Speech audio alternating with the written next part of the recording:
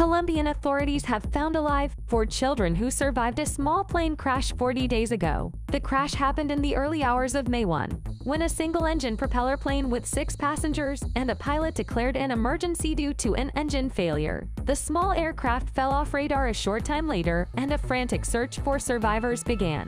The three adults were killed, and their bodies were found in the area. The children were alone when searches found them in Amazon jungle and are now receiving medical attention.